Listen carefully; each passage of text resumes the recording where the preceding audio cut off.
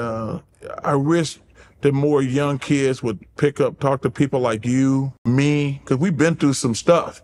Like when I watch you all the time, you talk about preparing for success. Uh, you you're trying to teach the young guys how to do things, take care of their bodies and things like that. I tell these guys, like uh, I- Zion, I like Zion a lot.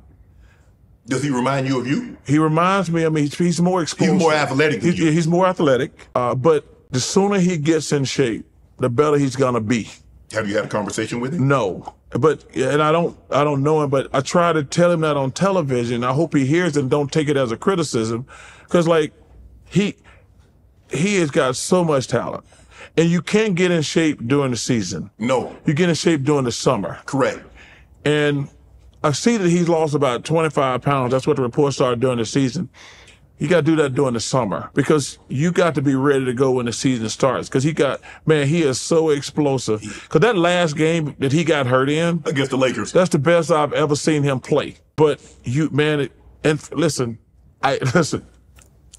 I got in shape for two million dollars. The money these guys are making today, I'd be damn near anorexic for, thir- hey, hey, for, for 35, 40 million dollars a year. They're making 50, 60, Chuck. I know. I'd be, they'd be like, we got to get Charles to eat. He's, ana- he's